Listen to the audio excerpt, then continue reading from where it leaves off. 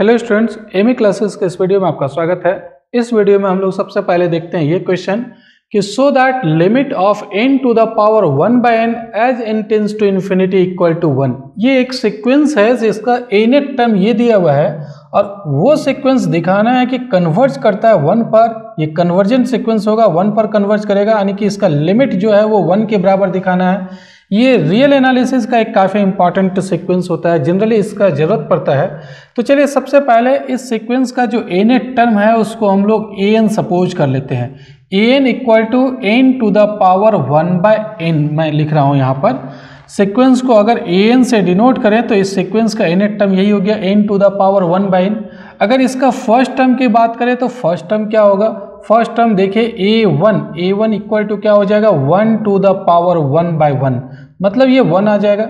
अगर second term की बात करें तो सेकेंड टर्म क्या होगा इस सीक्वेंस का? Two to the power one by two मतलब ये रूट अंडर टू हो जाएगा, जिसका value one point four one four होता है। ए थ्री की बात करें तो थर्ड टर्म क्या होगा? N to the power sorry यहाँ पर एन की जगह अगर हम लोग थ्री पुट कर दे तो three to the power one by three मतलब ये क्यूब रूट हो जाएगा थ्री का ये भी ग्रेटर देन वन ही आएगा वन से कोई बड़ा वैल्यू मिलेगा। तो यहाँ पर इस सीक्वेंस का प्रत्येक टर्म वन से बड़ा है। फ़र्स्ट टर्म या फ़र्स्ट टर्म जो है वन है, लेकिन उसके बाद जो है भी टर्म मिलेगा, वो वन से बड़ा होगा। ऐसे भी देखिए, यहाँ पर एन जो लेना है एन क्या लेना है? नेचुरल नंबर लेना है। तो एन तो ग्रेटर देन और इक्वल टू वन होगा।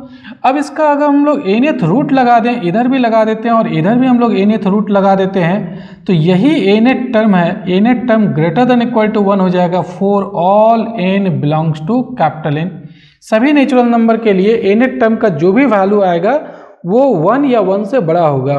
First term second term third term या तो वन के इक्वल होगा, जैसे आप देख रहे हैं कि फ़र्स्ट टर्म वन के इक्वल है सेकेंड टर्म जो है वो वन से बड़ा है थर्ड टर्म क्या है वन से बड़ा है। तो इसको हम लोग क्या करते हैं? मैं यहाँ पर इसको मान लेता हूँ इन n to the power one by n one plus h n one plus h n जहाँ पर एच एन का वैल्यू क्या होगा? एच एन या तो ज़ीरो होगा या ज़ीरो से बड़ा होगा। कैसे? जरा समझिए यहाँ पर। मैं अभी बता रहा था कि इस सीक्वेंस का प्रत्येक टर्म वन से बड़ा है। तो वन में कुछ ऐड करने के बाद ही ये टर्म आएगा। अगर वन के बराबर भी है तो उस समय जो ऐड करेंगे वो क्या हो सकता है? ज़ीरो जैसे अगर हम लोग इसकी बात करें इसकी बात करें, देखिए, यहाँ पर अगर हम लोग फ़र्स्ट टर्म की बात करते हैं ए वन की बात करते हैं तो यहाँ क्या हो जाएगा? वन प्लस एच वन हो जाएगा। वन प्लस एच वन और ए वन है क्या? वन है। ए वन का वैल्यू वन है। तो इसका मतलब एच वन का वैल्यू क्या हो जाएगा? एच वन का वैल्यू ज़ीरो हो जाएगा। क्योंकि ए वन का वैल्यू वन है। यहाँ पर अगर वन पुट कर देंगे तो वन वन कैंसिल हो जाएगा। एच वन का वैल्यू ज़ीरो हो जाएगा। अगर ए टू की बात करें तो ए टू इक्वल टू क्या होगा? ए टू इक्वल टू हो जाएगा। वन प्लस एच टू हो जाएगा। A2 का वैल्यू क्या है? A2 का वैल्यू है 1.414 और ये वन को हम लोग इधर ले आते हैं इक्वल टू एच टू तो यहाँ से आप देख रहे हैं एच टू का वैल्यू क्या आ रहा है? 0.414 तो इसका मतलब H1 जो है वो ज़ीरो आया H2 जो है वो पॉजिटिव नंबर आया, फिर H3 जो है इसी तरीके से यहाँ निकाल सकते हैं। तो जो भी Hn आएगा वो greater than equal to zero आएगा। ज़ीरो कब आ रहा है? H1 ज़ीरो आ रहा है, बाकी आगे जब बढ़ेंगे तो वो निश्चित रूप से पॉजिटिव ही आएगा। तो h n greater than equal to zero for all n belongs to capital n सभी नेचुरल नंबर के लिए जो है h n greater than equal to zero होगा। तो हम लोग यहाँ पर क्या कर रहे हैं कि एनेट टर्म इसको हम लोग मान लेते हैं a to the power n और ये निश्चित रूप से वन से बड़ा है तो इसको हम लोग क्या कर रहे हैं? वन प्लस एच एन मान लेते हैं, जहाँ एच एन या तो ज़ीरो होगा या ज़ीरो से बड़ा होगा, और ज़ीरो तब होगा जब एन के जगह वन पुट करेंगे, तभी ज़ीरो आएगा। बाकी सारे केसेज में ये पॉजिटिव नंबर ही आएगा। अब देखिए हम लोग क्या करते हैं यहाँ पर। दोनों तरफ़ एनथ पावर कर देते हैं। यहाँ पर लेफ़्ट साइड भी पावर एन कर देते हैं, और राइट साइड भी पावर एन कर देते हैं। इसको नंबर वन में कर दे रहा हूँ। देखिए, यहाँ पर अगर हम लोग पावर एन करें तो n to the power one by n और फिर इसका पावर एन और यहाँ पर भी हम लोग पावर एन कर देते हैं one plus h n to the power n अब देखिए, ये एन और ये एन मल्टीप्लाई करते हैं तो ये कैंसिल हो जाएगा n to the power one मतलब एन हो जाएगा, और इसको बाइनोमियल थ्योरम से एक्सपेंड कर दीजिए one plus x to the power n का जो फॉर्मूला होता है one plus n C one x plus n C two x square plus dot dot n C n x to the power n इस formula से expand कर सकते हैं। ये जो पावर एन है, ये तो नेचुरल नंबर है। पॉजिटिव इंटीग्रल इंडेक्स हो गया तो इस फॉर्मूला से हम लोग एक्सपेंड कर सकते हैं। यहाँ पर आप one plus n C one को आप एन भी लिख सकते हैं। एन सी टू को n into n minus one by factorial two x square भी लिख सकते हैं। और यहाँ पर एन सी एन जो है, उसका वैल्यू वन होगा तो सिर्फ़ x to the power n लिख सकते हैं। तो इसी फॉर्मूला से हम लोग इसको एक्सपेंड करते हैं। तो ये one plus n h n plus n into n minus one by factorial two x square means h n का whole square plus dot dot last में h n to the power n हो जाएगा। अब जरा देखिए, यहाँ पर जो भी टर्म है राइट हैंड साइड में सब पॉजिटिव है। क्यों? ये वन तो पॉजिटिव है एन नेचुरल नंबर है, ये भी पॉजिटिव है, और एच एन जो है वो नॉन नेगेटिव नंबर है। हो सकता है ज़ीरो हो सकता है ये एच एन का वैल्यू ज़ीरो भी हो सकता है, लेकिन नेगेटिव नहीं है नॉन नेगेटिव नंबर है। तो नॉन नेगेटिव नंबर है तो ये पूरा नंबर ही नॉन नेगेटिव हो जाएगा, ये भी पूरा नंबर नॉन नेगेटिव हो जाएगा।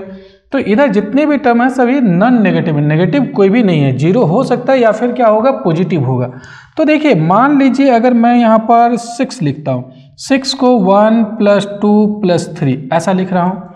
तो देखिए, ये जो नंबर है, वो किसी भी यहाँ पर जो थ्री टर्म्स है थ्री टर्म्स का सम करने के बाद आ रहा है तो सिक्स ग्रेटर देन वन होगा। ये प्रत्येक टर्म से ये बड़ा होगा। सिक्स ग्रेटर देन टू है सिक्स ग्रेटर देन थ्री है प्रत्येक टर्म से जो है वो बड़ा है। तो एन जो है वो ये सारे टर्म्स का सम करने के बाद आ रहा है। कोई भी नेगेटिव नहीं है।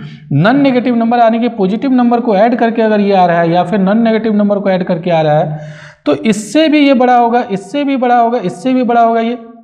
तो इसी तरीके से यहाँ पर हम लोग कह सकते हैं कि इम्प्लाइज एन जो है, वो ग्रेटर देन होगा, किससे बड़ा होगा? N into n minus one divided by factorial two factorial two का वैल्यू टू हो सकता है।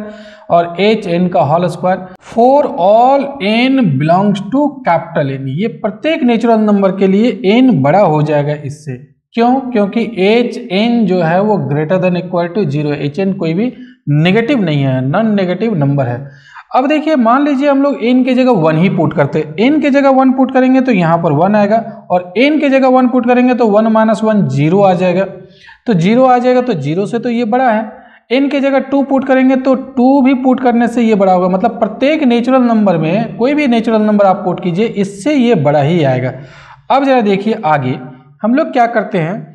ये टू को दोनों साइड हम लोग टू से मल्टीप्लाई कर देते हैं। टू एन ग्रेटर देन यहाँ पर n into n minus one into h n का whole square for all n belongs to capital A अब आगे बढ़ते हैं हम लोग।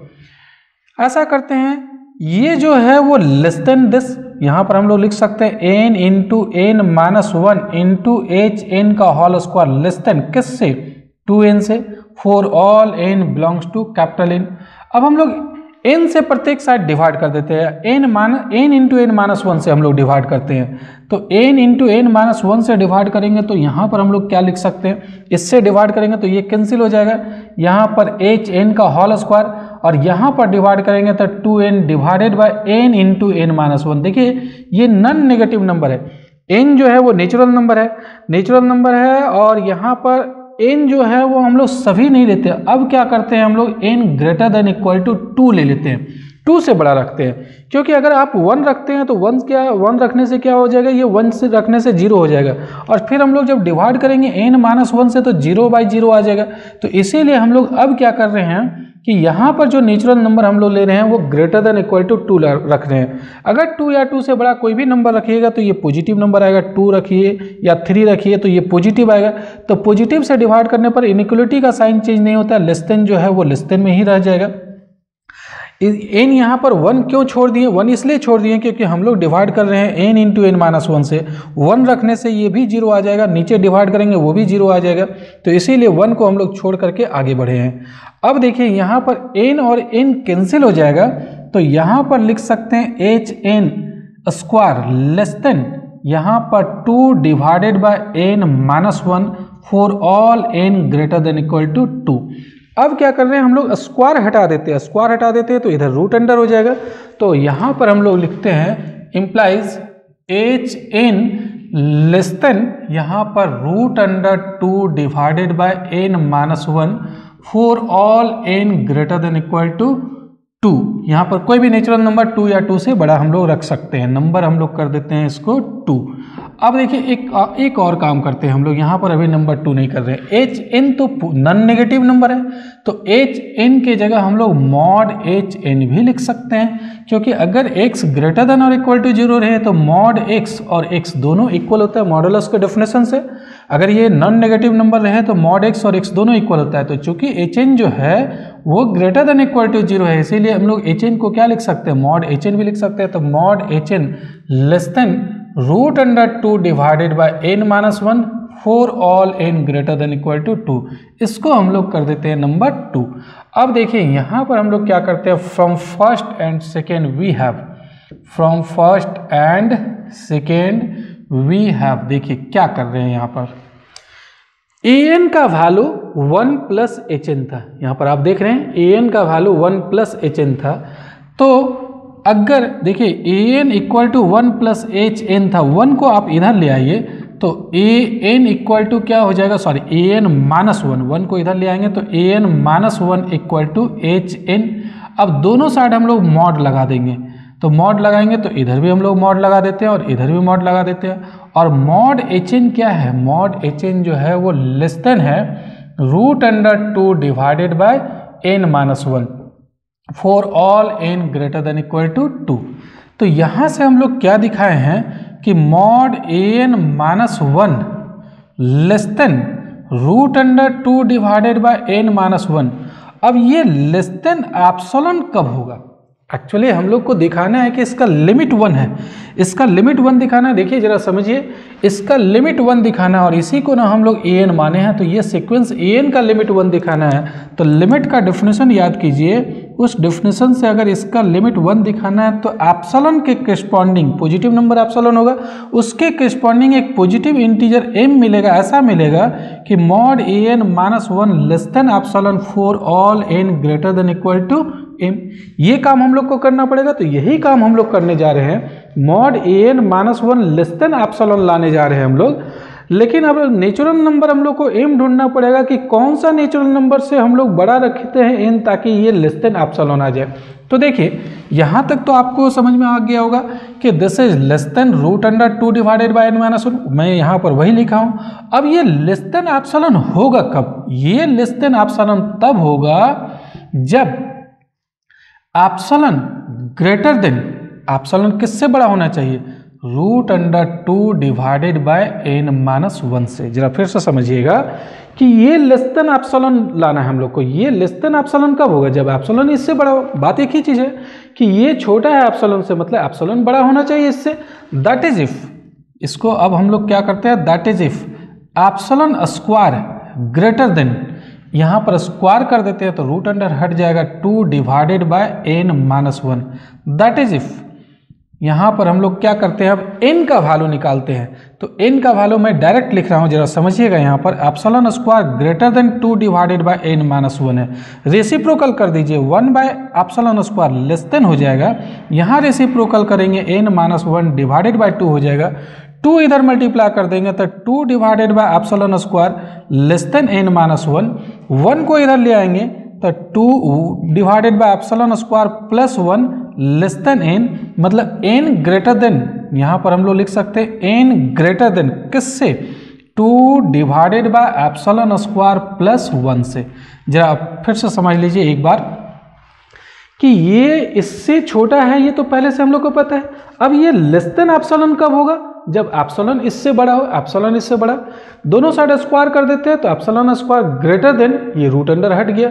और यहाँ से हम लोग सिंप्लीफाई करके निकाले तो एन ग्रेटर देन ये आ रहा है। यहाँ से अगर सिंप्लीफाई करते हैं मैं भी सिंप्लीफाई किया था तो एन ग्रेटर देन ये आ रहा है। अब जरा ध्यान दीजिए, ये तो कोई ना कोई रियल नंबर होगा। ये two divided by epsilon epsilon मान लेते हैं हम लोग, है एप्सलॉन ज़ीरो पॉइंट वन ही है। तो ये two divided by zero point one का होल स्क्वायर और प्लस वन कोई ना कोई तो रियल नंबर आएगा। मान लेते हैं ये 2.7 आया। सपोज़ कर लीजिए, मैं ऐसे एग्जैक्ट मैं निकाल नहीं रहा हूँ। सपोज़ कीजिए ये 2.7 आया। सपोज़ कर लेते हैं 2.7 आया। तो n का वैल्यू इससे अगर बड़ा रखते हैं तो ये लेस देन एप्सलॉन हो जाएगा। यहाँ पर देखिए इसका मीनिंग क्या हुआ? कि ये लेस देन एप्सलॉन होगा if epsilon greater than this that is if epsilon square greater than this that is if n greater than this n अगर इससे बड़ा रखते हैं तो ये लेस देन एप्सलॉन आ जाएगा। तो यहाँ पर मैं लिख मैं लिख देता हूँ that is implies a n minus one less than epsilon आ रहा है। कब आ रहा है? लेस देन एप्सलॉन आ रहा है if n greater than two divided by epsilon square plus one अब जरा समझिए, मैं यह बता रहा था कि ये कोई ना कोई तो रियल नंबर होगा। रियल नंबर होगा, उससे जस्ट बड़ा इंटीजर को एम मान लेते हैं। Let m be just m be an integer m be an positive integer ये ऐसा करते हैं। मैं यहाँ पर लिख रहा हूँ m be a positive integer just greater than integer just greater than greater than two divided by epsilon square plus one ये two divided by epsilon square plus one से जस्ट बड़ा जो पॉजिटिव इंटीजर होगा, उसको M मान रहे हैं। जैसे मान लीजिए अगर ये 2.7 ही आया तो 2.7 से जस्ट बड़ा कौन सा आएगा? थ्री आएगा। तो एम इक्वल टू हम लोग क्या करेंगे? थ्री ले लेंगे। एम इक्वल टू थ्री ले लेंगे। तो अब हम लोग कह सकते हैं यहाँ से therefore mod a n minus one less than epsilon if n greater than equal to m या मैं ऐसा लिख देता हूँ one n greater than equal to m ये अब इक्वल हो जाएगा। क्यों इक्वल हो जाएगा? फ़िलहाल पहले क्या था? एन ग्रेटर देन इसका वैल्यू अगर 2.7 लेते हैं तो 2.7 से बड़ा कोई भी नेचुरल नंबर एन तो नेचुरल नंबर ले लेना था। तो 2.7 से बड़ा कौन कौन ले सकते थे? हम लोग थ्री ले सकते थे फोर ले सकते थे फाइव ले सकते थे। अगर इससे जस्ट बड़ा यहाँ पर हम लोग थ्री रख देते हैं, इससे जस्ट बड़ा जो पॉजिटिव इंटीजर है थ्री रख देते हैं तो ये एन का वैल्यू तो थ्री भी हो सकता है ना? तो यहाँ पर इक्वल टू भी देना पड़ेगा। एन ग्रेटर देन और इक्वल टू जस्ट इससे बड़ा पॉजिटिव इंटीजर हम लोग ले लिए। तो ये इक्वल टू भी देना पड़ेगा। तो यहाँ पर हम लोग दे देते हैं कि a n minus one less than epsilon if या one n greater than equal to m क्या एक पॉजिटिव इंटीजर मिल गया हम लोग को? जिससे बड़ा अगर हम लोग एन रखते हैं तो mod a n minus one less than epsilon आ गया। तो लिमिट के डेफिनेशन से अब हम लोग कह सकते हैं implies limit n tends to infinity of a n equal to one इसका लिमिट वन हो जाएगा। इम्प्लाइज ए एन हम लोग सपोज़ किसको किए थे? ए एन सपोज़ किए थे n to the power one by n को। इसका लिमिट वन हो गया। यही प्रूफ हो गया।